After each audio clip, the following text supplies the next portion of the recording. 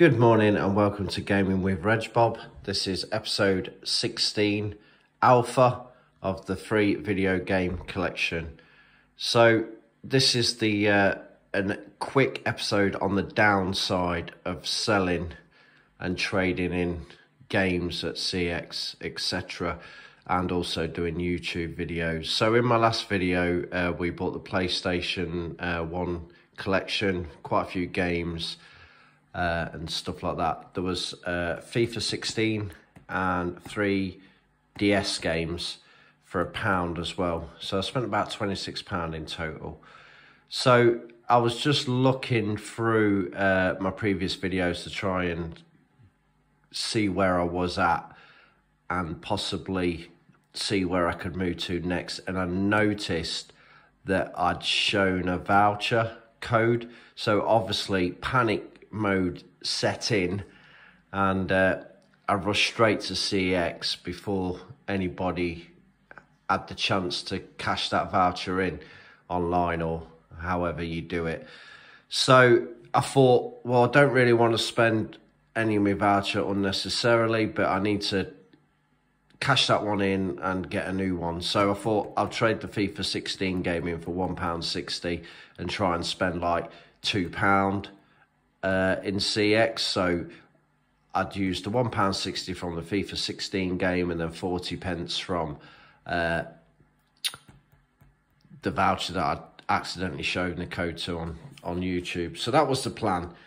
So it kind of went wrong very, very quickly. So uh, I managed to find two games that I thought would uh, do the aim well. So Ghost Squads complete with manual for a pound and Shaun White snowboarding road trip for 75 pence. So that meant I was going to spend 15 pence on the voucher that I'd shown the code to.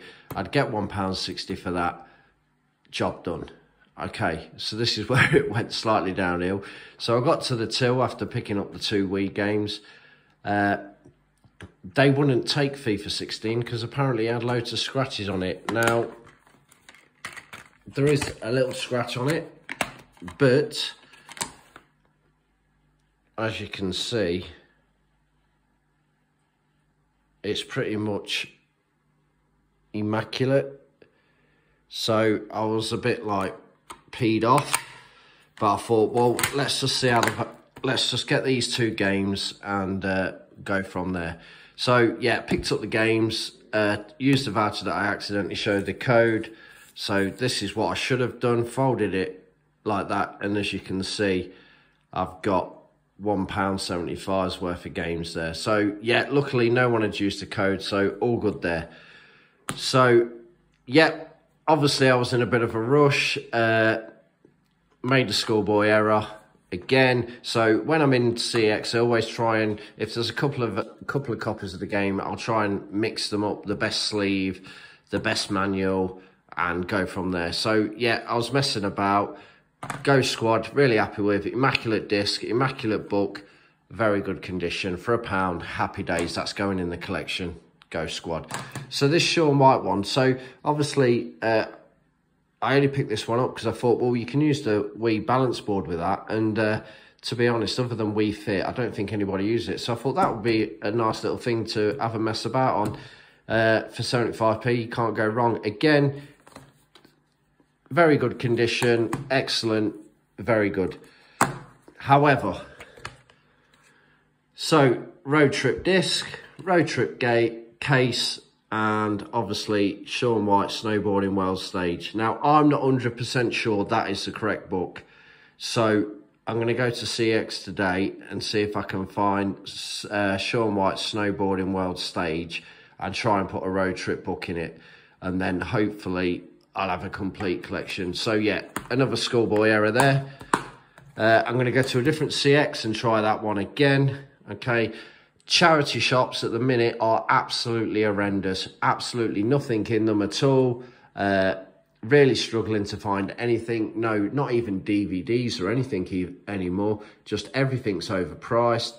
Games seem to be a minimum of £3 at the moment. Like even for like absolute battered discs, battered cases, FIFA games, like absolutely horrendous. So I say that, but then I found this and I must have been walking around for about two hours. So yeah, so I've bought this Hotel Transylvania 3 uh, for three pound. Xbox One. It's got the bucket, uh, the manual, uh, the little.